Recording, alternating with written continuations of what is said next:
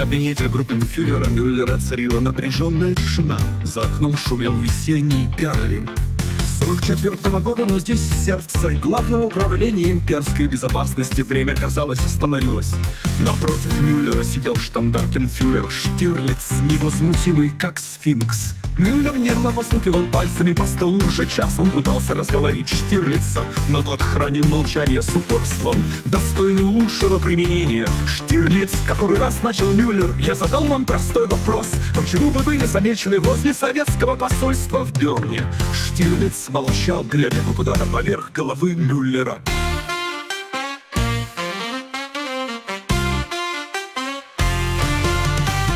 Ваше молчание, оно, оно все говорит за вас, воскликнул Мюллер, вскакивая со стула.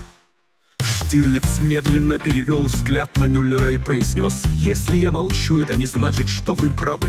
Это значит, что я не вижу смысла вам что-либо объяснять. Мюллер опешил, он ожидал чего угодно. Оправданий, объяснений, даже признания, но не этого. Что вы имеете в виду, Штирлиц? Спросил он, пытаясь скрыть замешательство. Я имею в виду именно то, что сказал Георг Грубенфюрер. Спокойно ответил Штирлиц. Ваши выводы основаны на предположениях, а не на фактах. Мое молчание не подтверждение вашей правоты.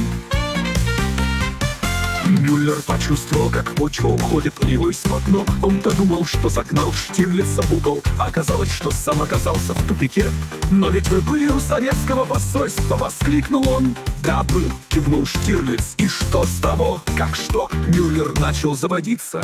«Вы офицер Рейха, вам нечего делать у вражеского посольства!» Гер Мюллер Штирлиц позволил себе легкую улыбку. «А вы никогда не задумывались, что иногда лучший способ получить информацию — это просто понаблюдать?»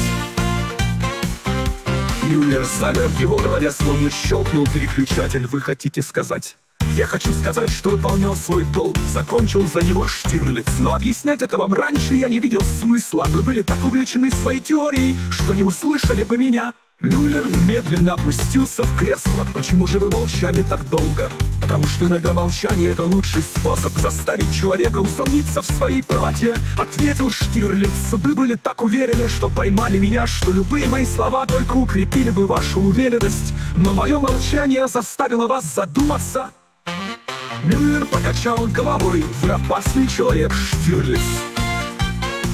Я просто хорошо делаю свою работу. Пожал плечами Штирлиц Как и вы, Герр Группенфюрер Когда Штирлиц покинул кабинет, Мюллер еще долго сидел, глядя в одну точку. Он понимал, что снова проиграл в этой невидимой дуэли, и что самое обидное, проиграл из-за собственной самоуверенности. А Штирлиц, выйдя на улицу, позволил себе легкую улыбку. Еще одна операция прошла успешно, и снова его главным оружием стало не что иное, как умение молчать в нужный момент.